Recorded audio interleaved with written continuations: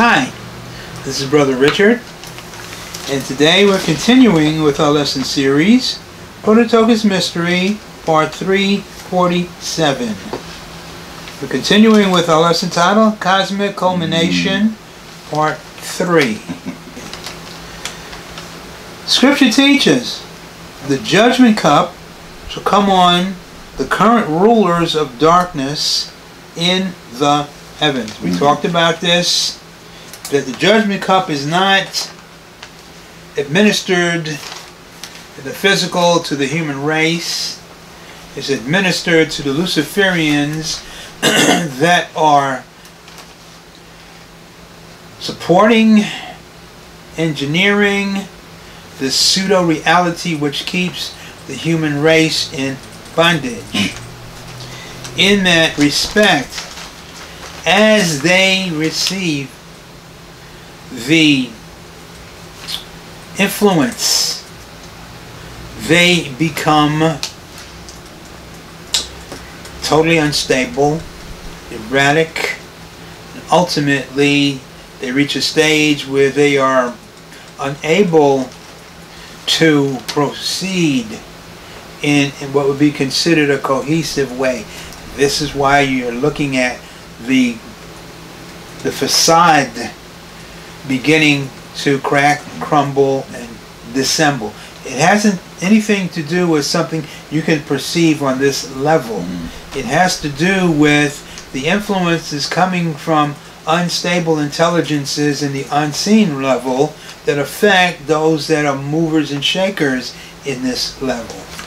Yes. So, since we now understand from yesterday that the physical is guided and dominated by the spiritual, even though people don't you know, recognize that part.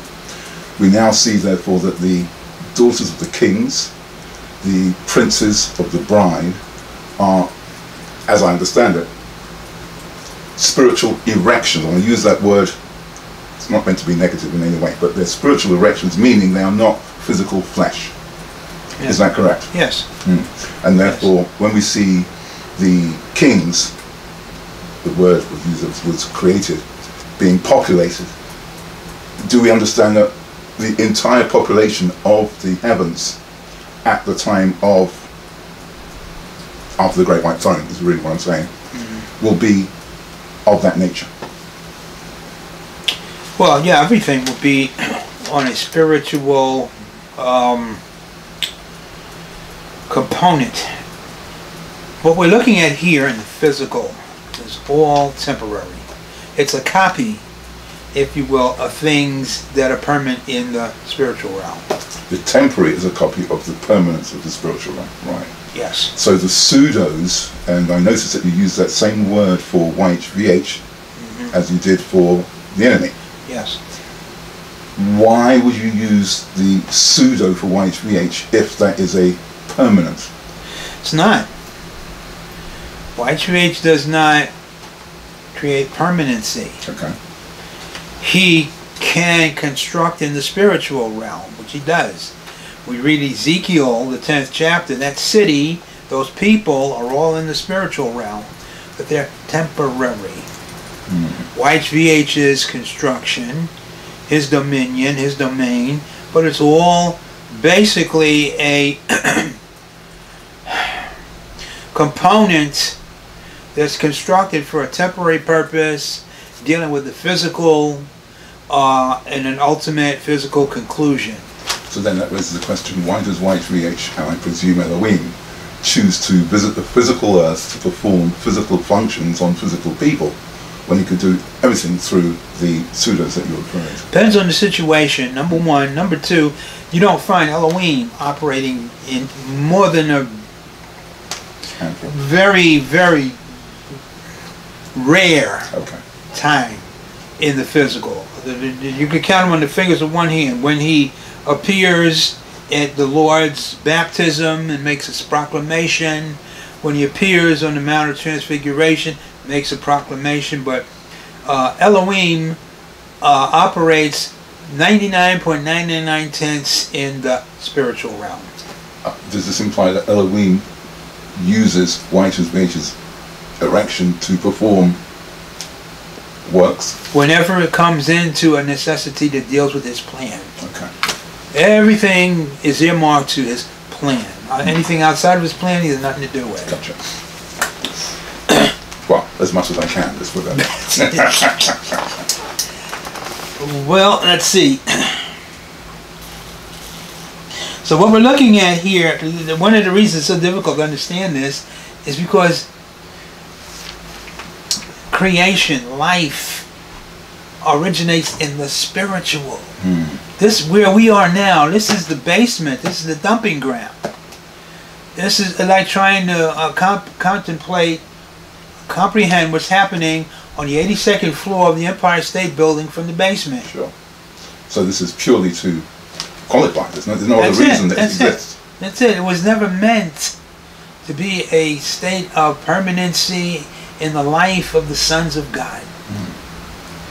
Because everything that the Father does is a spiritual purpose, a spiritual comp- composition. Because uh, because Elohim operates eternally. There's nothing eternal in the physical realm. Why would he waste his time doing something here when it could only be at the best temporary? He has to limit himself, shut himself down to operate in a, a, raggedy, uh, um, desolate environment. That's not him. He's light, he's purity, he's perfection. And even the sons of God, when they reach a state of maturity, they ain't going to operate for any protracted period of time here. Paul, Paul couldn't wait. He said, the only reason I'm staying here is because you need me. When people die, they could come back. When you read Job, when uh, the, the, the, the rich man tells Abraham, that, uh, not Job, uh, when you're reading um, uh, Lazarus and the rich man, in Luke the 16th chapter, the rich man tells Abraham, send Lazarus back to talk to my brothers. Abraham did not say, well, he can't go back, he's dead. He said, no, he's not going to back, be, go back because he wouldn't be believed. The people that die never want to come back here. It's like you want to go to hell. When Samuel came back, he was miserable. Yeah. He said, what the heck did you call me back here for? What do you want? Hurry up so I can get back, you know, I just this. This, this place is so repugnant from a pure spiritual holy perspective that nobody the only ones that reside here are the, the those that are dumped here those that are uh, totally corrupted and they don't even want to be here but they got no choice you think satan wants to walk up and down on the earth he even wants to get back into the heavens so this place is is created to be a temporary zone for a limited purpose to get jump started in what God wants his sons to ultimately participate in. Mhm. Keeping that in mind, what we're finding out, the judgments and everything else that are taking place originate in the spiritual realm. We see the results of that here in the physical realm. You don't see anything manifesting, originating here in the physical. You can't see Satan, you can't see the angels, you can't even see the demons. All you can comprehend, or all you can do is feel the results of what they set in motion. When Elohim pronounces the judgment, Jeremiah uh, 25 30, do we understand therefore that first it will be in a in a spiritual earth and spiritual cities and spiritual nations, which will then translate into the into the physical. No, just the opposite. Matter of fact, we're going to touch on that Okay. here. Jeremiah 25, verse 26. Let's turn there.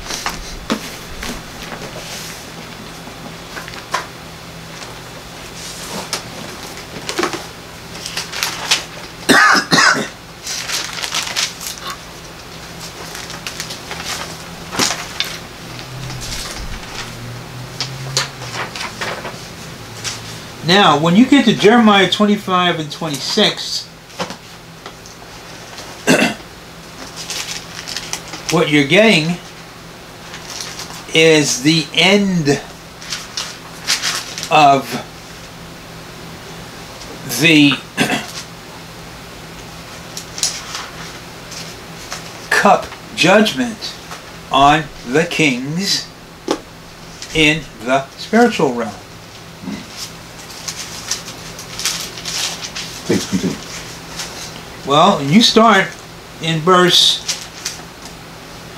17. I took the cup in the Lord's hand from 17 to 25 is talking about all those that received the cup. And all the mingled people, and all the kings of the land of Uz, and all the kings of the land of the Philistines, Edom and Moab, and the children of Ammon, all the way down to verse 25, and all the kings of Zimri, and all the kings of Elam, and all the kings of the Medes. So the judgment cup is spreading to the whole Luciferian mechanism that's driving this pseudo reality. From 17 to 25 is The spiritual influence of the judgment cup. on the pseudo. Yes. Right. All of that. And it's talking about these guys drinking and becoming unstable and stumbling and falling. Well, they're the ones that are manipulating, controlling the physical here, where the humans are responding to the manipulation that's taking place there. Case in point, you get on the freeway. Why do these individuals start going erratic and doing all sorts of things that make absolutely no sense? Because they are incited to. Their minds are wide open to manipulation. They're frustrated. They go to the point where they're ready to um, uh, just implode, and the puppet master uses that because they feed off of the emotions. They can get somebody to crash into somebody else and kill, and he's got souls. Or whatever the energy is, he feeds off of it. It's all manipulation. But what you get here is down by verse 25 is the effect of the judgment cup on the movers and shakers of the Luciferian pseudo reality. This thing is becoming more and more unstable because the guys that are running it are becoming more and more unstable because they're under judgment. Notice the connection here in verse 26. The last ones are going to be the principalities, the cosmocrators, kings of the north. And all the kings of the north, far and near, one with another. So they're going to be incited to do the same thing that the others have been doing. They're going to become unstable. Their, their whole organization is going to fall. What happens when it falls? Verse 26. All the kings of the north, far and near, one with another, and, and all the kingdoms of the world which are upon the face of the earth, and the king of Sheshach shall drink after them. King of Sheshach is referring to the fourth empire that replaces the kingdoms of the earth. So you get this descending crescendo of vitriolic, explosive uh, destruction, destructive influences in the spiritual realm that manifest in the physical realm as a the result is the disintegration, the destruction of the Adamic order. It cannot survive because the driving force has been taken away. The driving force of the Luciferians that erected that thing and manipulate and keep this thing going through the ability that they have to influence the humans. When they're taken down, that's it. Turn to Jeremiah 10th chapter.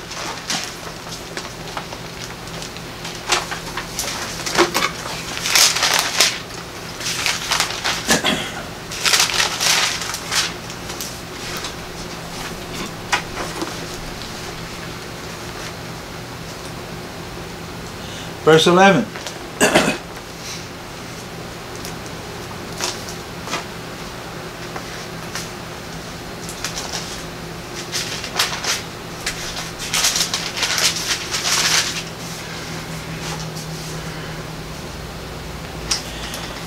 Thus shall you say unto them, The gods that have not made the heavens, word made the Asha, kept, prepared, they mismanaged it, the whole thing, that have not made the heavens and the earth, even they shall perish from the earth and from under these heavens. Okay. Are the second strings. The gods are the kings in Jeremiah 25, 17 to 26. So the ones under the principalities. The principalities, all of them are gods. So then some capital G, some small g. Right. But the kings are the gods. Are these what we've just read in verse 11, second stringers? Yes, Okay. yes. Does this verse also refer to the first stringers? No, Okay. So this is the first part of Jeremiah 25, 26. yes. Gotcha. It's talking about the dismantling of the current Luciferian order. Notice it says, they shall perish from under these heavens. So Mhm. they get taken down to the lowest level here, and then they get taken captive in the subterranean regions. In that respect, we're seeing the beginning of the dismantling of the second stringers' erection, their composition of a pseudo-reality, which has kept the human race in captivity since the fall. So the pseudo Oh, strictly refers to that over the human physical. It doesn't apply to what we call nations. Or does it? Well, when, when you say Non-human nations, I mean. the non-human nations, put it this way, those that comprise the non-human nations are stratified. Okay. They were all under Lucifer. Lucifer fell. They came under the second stringers. They are currently under the second stringers, the kings that are dominating the human race.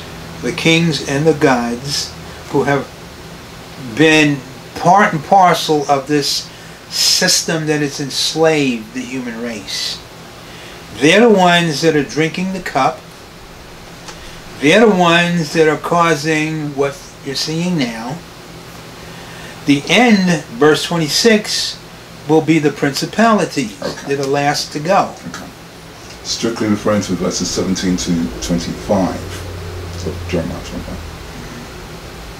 Mm-hmm. The nations, the non-human nations that you just outlined, who are under the kings, who are under the principalities, do they ab- uh, abide, do they live in the cities which are being destroyed in the spiritual realm? No, no, they have their own abodes. Okay. I made the nations to shake at the sound of his foot. Right, They have those their own abodes. habitation. Okay.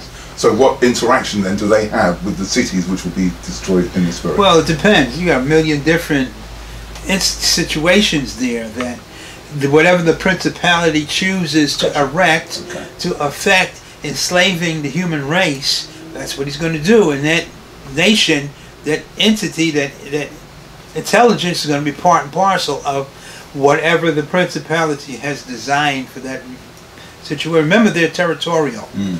Over the over the region of Persia, you have a kingdom erected. You have the kings, which are hierarchical. you have the Tsar, prince of the kings of Persia. Mm. Kings of Persia are all principalities. Under them, you have the nations. Okay. The nations are the ones that are coming in contact with the human race from a spiritual level, depending upon the individual's assignment, what his duty is. he answers to that king, that prince. Yeah. That's the way their system operates. the beings who are who drink water and are comforted in neither parts of the earth, Ezekiel 31, 16, are they of the same nations that you just described? But but nations who sided with the Lord and not with Lucifer. Yes. But they're, they're at nation level, they're not at king level. That's what I'm trying to get, get to. Um, no, no, they're first stringers. so okay, You have See? a division. You have some that were loyal, some that weren't. the ones that were loyal Right. are being comforted in the Praise the evil parts All right, of the so earth. we've got to wrestle it out of you, in other words, to understand that. Okay. Well, you have such a hierarchical distribution Mm. of authority. Basically, you can divide them into two immortals and non immortals. Oh. None of them are human, but they have distinguishing characteristics that they've been created in and functioning through and under. So they could be first string, at second string at kings, or nations, as we've described them. Yeah. The guys in the UFOs are nations. Sure. Okay. the uh, Greys and all the rest of them are the nations. Intelligences, the, the, the serpent races are nations. All of them that basically are not immortal are of the nations Okay. that Lucifer dominated at one time. Thank you for taking the time to No problem. explore that. Now, having said this, we get a general idea here. after after the principalities in the north drink the cup, the kingdoms of the world collapse. Along with that line, this is where you get Matthew 24 and Luke 21. At that time, that that juncture. Why don't we hear kings of the south? We only hear kings of the north. Uh, Is it understood that north and south are together? they're they're created regions, but the inference seems to be in the southern regions you don't have the degree of activity that you have in the north. Okay. Now let's go on. Next principle. Scripture indicates in their madness they will have the human kingdoms in upheavals. Turn to Luke 21, verse 9. This is where we are currently.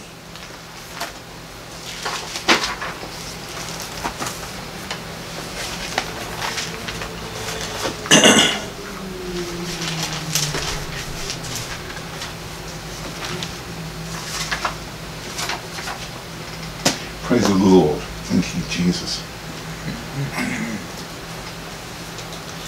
But when ye shall hear of wars and commotions, be not terrified, for these things must first come to pass. But the end is not by and by. This is exactly where we are now. the madness has increased in the spiritual level. Mhm. its influence is increasing in the physical domain. You have the nations, the, the armies being moved together for battle.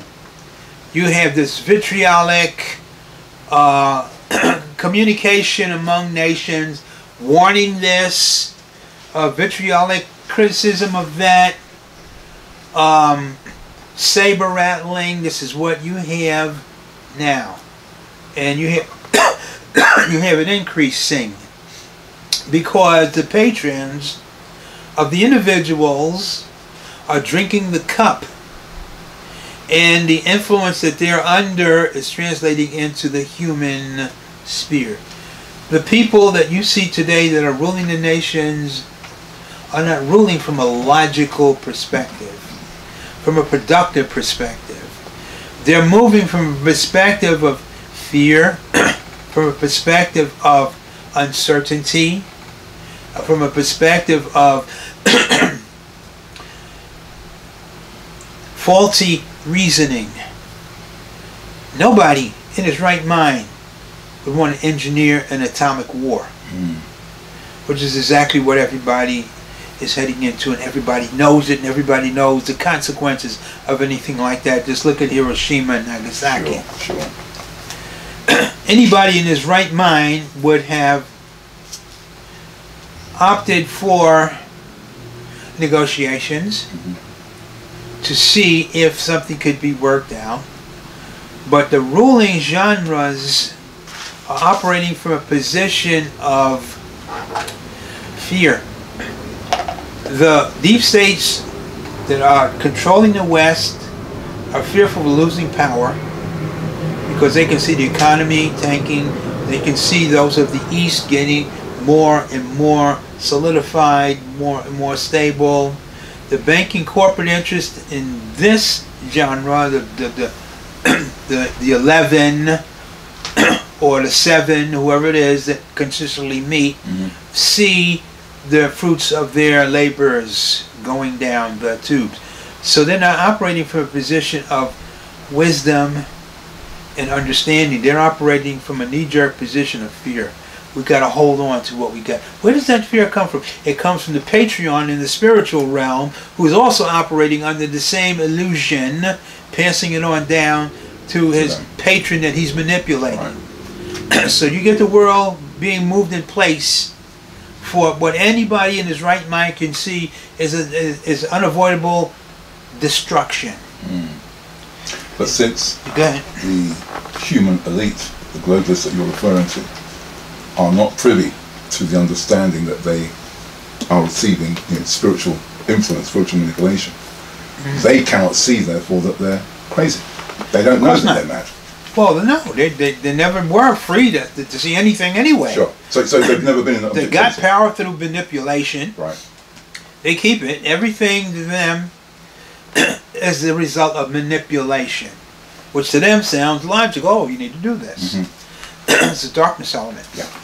And the Lord is saying in this passage of scripture, verse 9, where we are right now, the things that are happening right now must come to why must they come to, because the judgment cup is being passed to the ruling elites mm-hmm. in the spiritual realm so it's unavoidable he says when you see this don't worry about it it's going to happen because things are the father has engineered all of this to begin with it's part of his plan to bring judgment on the luciferians that have brought judgment on themselves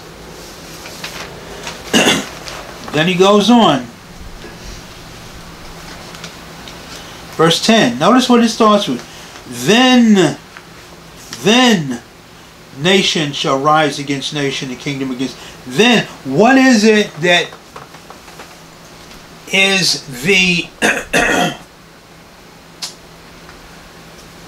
what is it that connects verse 9 to verse 10?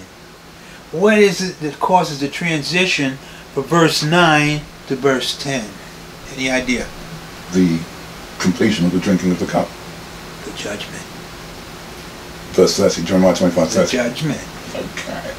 When the Luciferian principalities have drunk the judgment cup, then all the nations on the earth collapse. So the shout of the Lord happens between verses 9 and 10. Back, you turn back to Jeremiah 25. This is intense, Richard. We love it. Wouldn't miss it.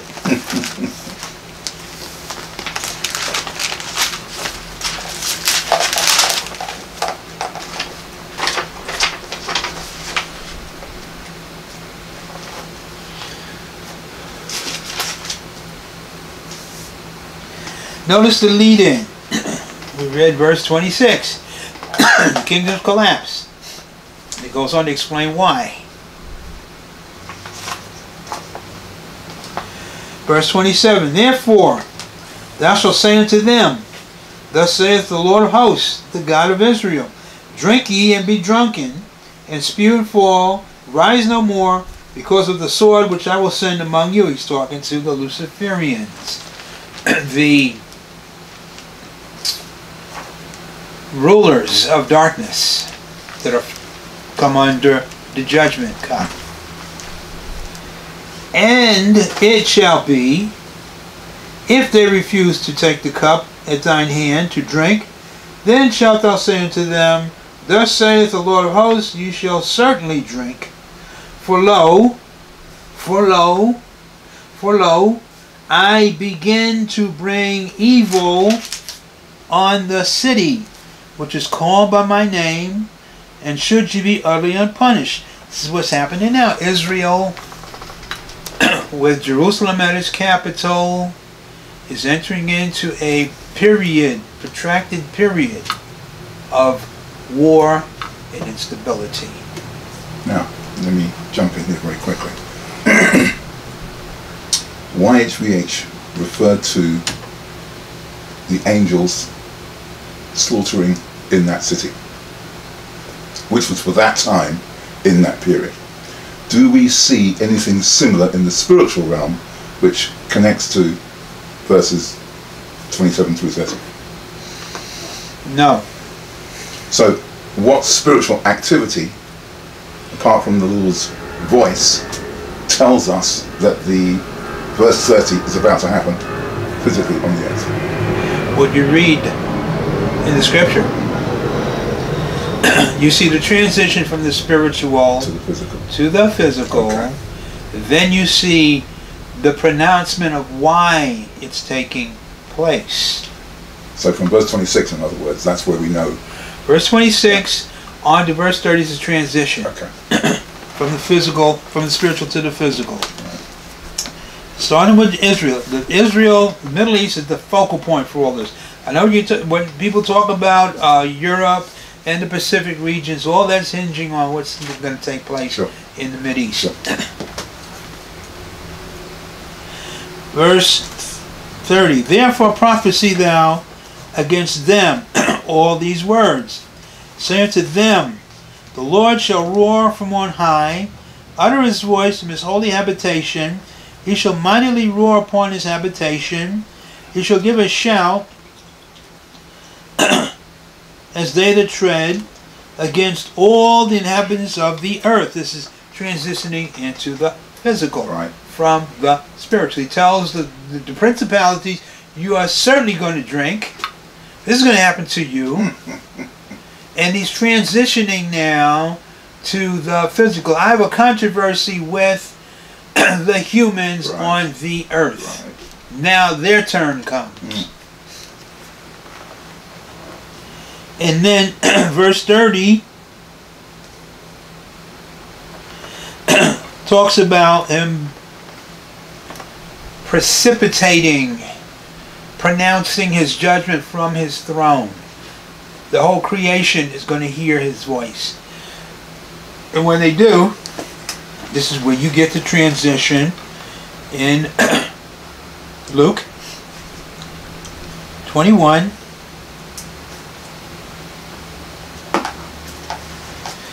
From 9 to 10. Verse 9, you have the human race under the impetus of beings who are drinking the cup. Wars, vitriolic hatred, fightings, building up to a crescendo. Then you get verse 10, there's a shift. The, the, the, the thrust now ceases and is taking into another direction hmm. by the judgment. The judgment that's pronounced will be a judgment in which things are set in motion that cause the change. Should we understand that from verse 10, which you just described, or in Jeremiah 25, verse 26, which mm-hmm. we've just gone over, from there onwards, there is no more need for Elohim YHVH to impact upon a sp- spiritual pseudo because they're dealing directly with the earth. Yes. All the way through to the end of the tribulation. Well, not to the end of the tribulation. There's no need to deal anymore with the pseudo because the pseudo is destroyed. The mechanism no longer operates. Cannot hold people in captivity anymore. No, you're talking about the Luciferian, excuse me, the Luciferian pseudo. I was referring to the construct that YHVH made for the city of Jerusalem. oh, that's out. That's Okay. gone. But he doesn't, he doesn't bring back anything No, like that. Right. no, no, okay. no. No, uh, that was another era that he was dealing with. What you have here is now the precipitation of the release of the first stringers, the Fourth Empire, is going to fill the vacuum. But between the time of the Fourth Empire's release and the demise of the current Luciferian order, you're going to have that middle part where the Prototokos comes on the scene. So this is what we're looking at. We are now in verse 10. Then said he, then said he unto them, Nation shall rise against nation, kingdom against kingdom. What does this what does this dovetail with? It dovetails with Jeremiah 25, 26. All the kingdoms on the face of the earth are going to collapse, fall. It also deals with the causative effect. You're having a transition with so many things taking place simultaneously. Notice what he says because this is very, very important. If we can connect these scriptures, we get a clearer understanding of what's happening. Nation shall rise against nation and kingdom against kingdom. And great earthquakes shall be in diverse places. And famines and pestilence and fearful sights and great signs shall there be from heaven. What's happening here?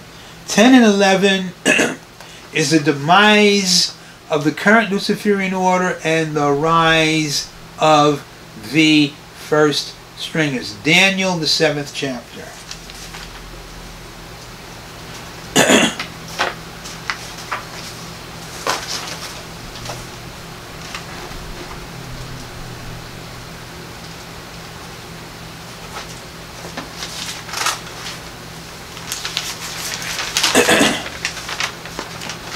Daniel 7, verse 23.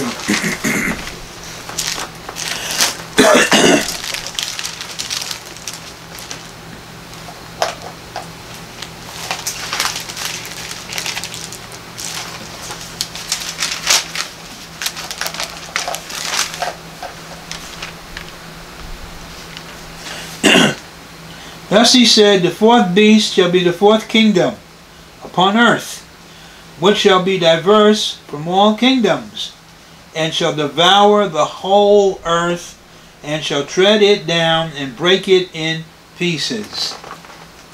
Huge, tremendous, mega seismos, going from one end of the earth to the other, causing mountain ranges to shift causing rift canyons to cease, bringing up regions that were formerly valleys, other regions that were mountain ranges, bringing them down, totally recontouring the configuration of the earth. this, commensurate with Luke 21, verse 11. Megaseismos, the fourth empire rises as the Adamic kingdoms of the earth fall because it's the fourth empire that's causing the demise of all this. the Luciferians in the heavens no longer have influence over the human race on earth. Why? Because they are under judgment. They're taken out of the picture. The humans now are in a state of total consternation. Their influence is rather. You're going to see. Well, you you you'll see it when you when you experience it. You're going to find that the atmosphere here is going to radically change. You're going to enter into a reality in which your senses are going to be shifted. Mm. Your ability to detect, your ability to analyze, your ability to experience is going to be radically different. Why? Because the scripture says so. And this explains why technology will disappear, because those who promoted it no longer exist. And the conditions are no longer going to be available. Mm. Thus he said, The fourth beast shall be the fourth kingdom upon earth, which shall be diverse, altered. The conditions of the fourth empire are going to be such as bring it will bring in a totally new reality than what you have now, which will add to the uh, inability of humans to function, but it will enable the Luciferians to function because it brings everything to a higher perspective.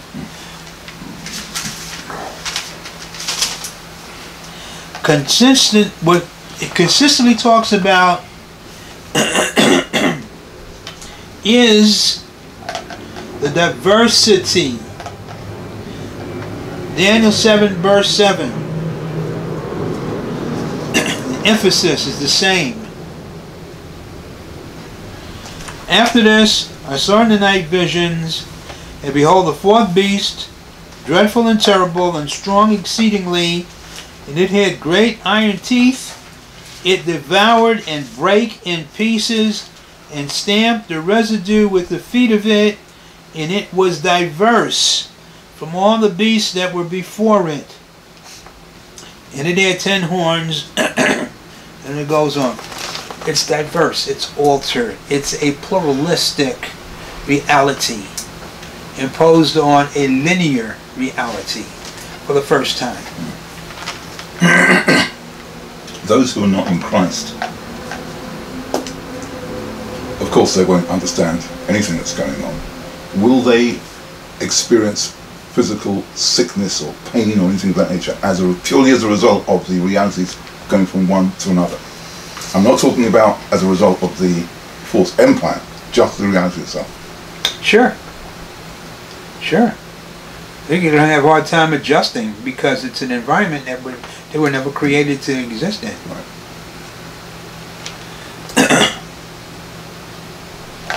Now, Scripture indicates this altered environment will enable humans and non-human intelligences to co-mingle. Daniel 2, verse 43.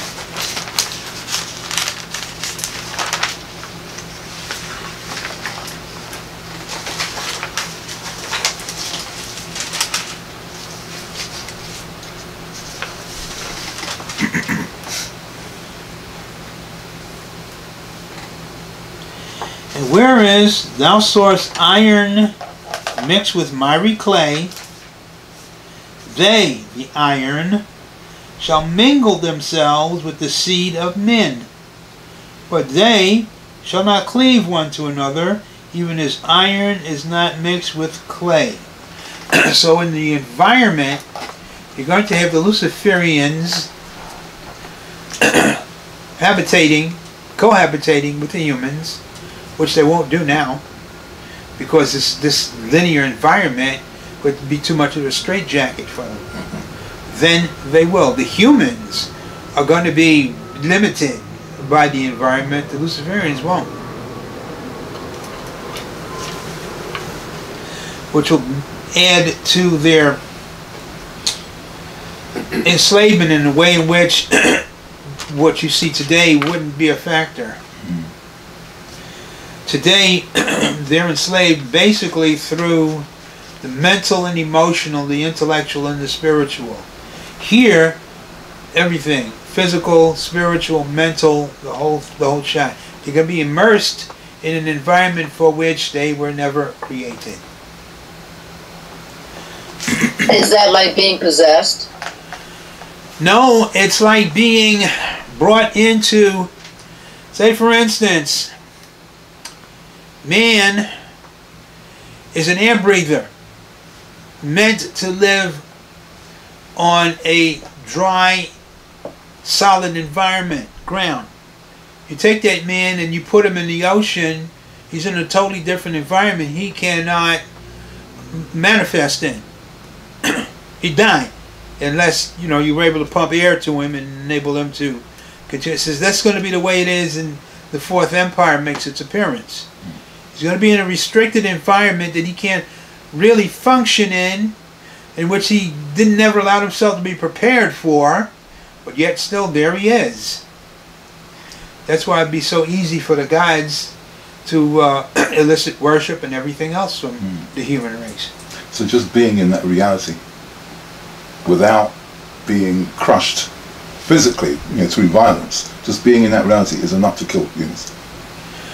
Well, let's put it this way: being in that reality presents dangers that, if they're not taken care of, can present problems for Right. the individual. And by nature, man is going to basically keep himself in a form of isolation because he's afraid, scared to death, not understanding what kind of environment he's in and what's taking. That's why it's so easy. To turn over to First Timothy. See an example here.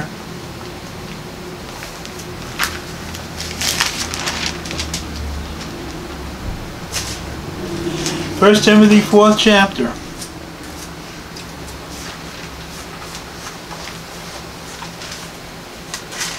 Verse 1.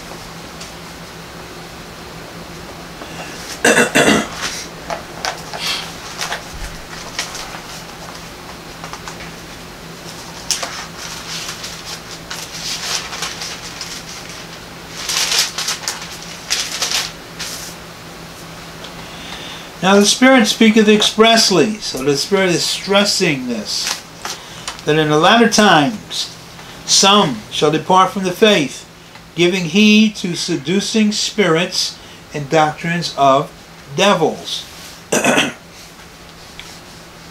You're going to receive teaching, instruction from non humans about what would benefit a human in this Luciferian environment. And it goes on to talk about uh, what to eat, what to drink, uh, marriage, not marriage, procreation. They're going to adapt the whole lifestyle to what the Luciferians tell them they need to adapt to to progress in this altered environment. These are Christians. And they're going to be so caught up, it says that they totally leave the faith. so you see, basically, the Luciferian, and these are true gods, intermingle themselves with the seed of men. And there's no, there's never been any uh, effort at all for the human race to try to comprehend the truth of the matter. Hmm. They're just going to fall right into the Luciferian influence, whatever it is group they come under. Well, let's go on. Scripture teaches the last truth to be given before the human race is totally enveloped by the Luciferian system will be the truth of the kingdom of God. Matthew 24, verse 14.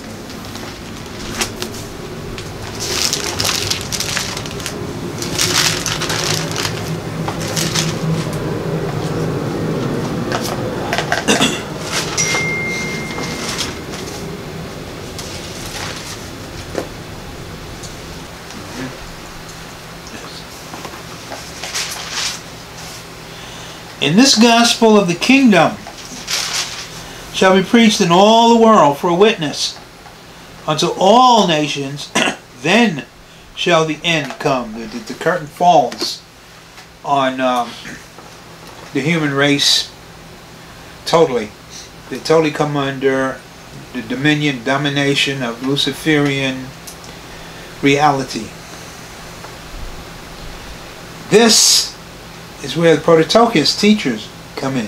Matthew 24, 45 and 46.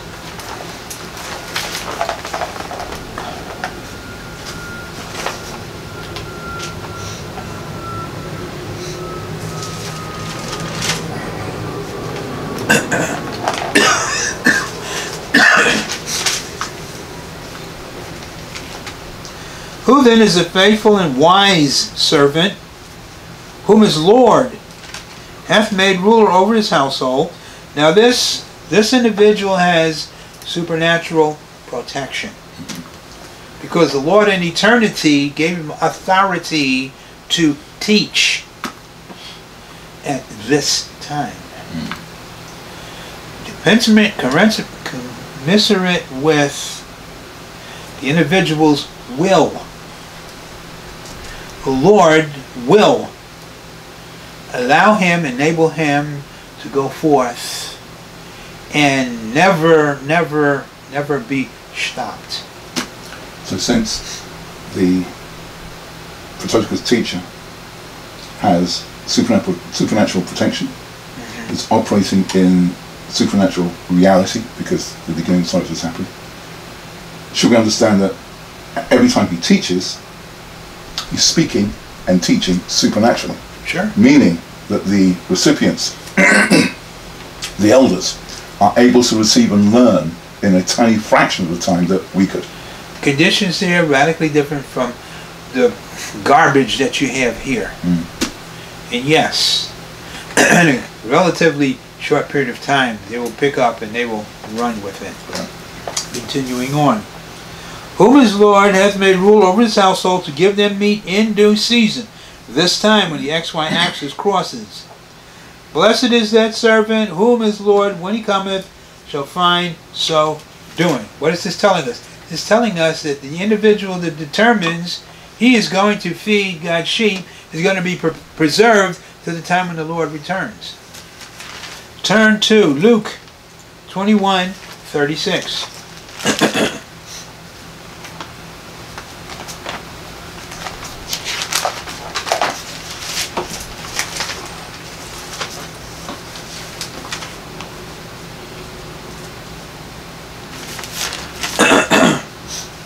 Watch ye therefore, most important, key to be able to survive this thing is to be ready for it.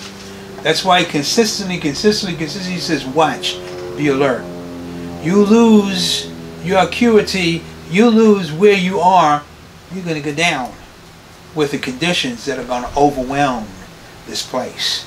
So he says, watch ye therefore and pray always that you may be accounted worthy to escape all, A-L-L, all these things that shall come to pass and to stand before the Son of Man.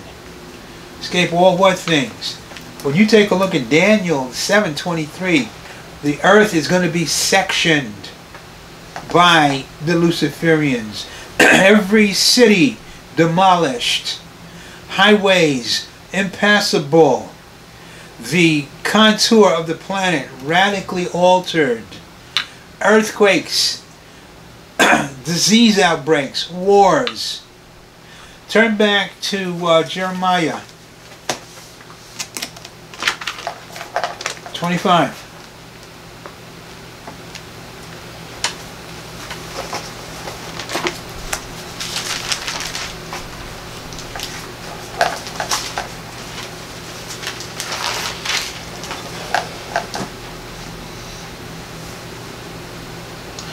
Verses 32 and 33.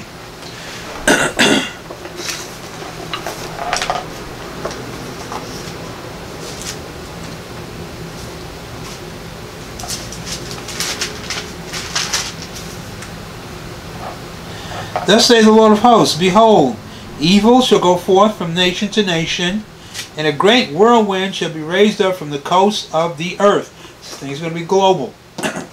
And the slain of the Lord shall be at that day from one end of the earth even unto the other end of the earth. They shall not be lamented, neither gathered nor buried. They shall be dung upon the ground. the human race is going to be slaughtered from one end of the earth to the other with nobody to bury them. But the Prototokos teacher is going to escape all that.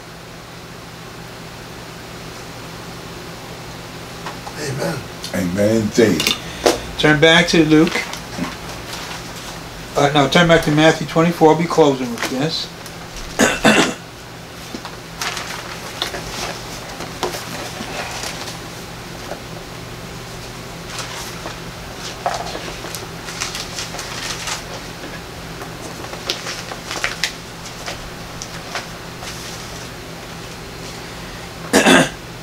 verse 46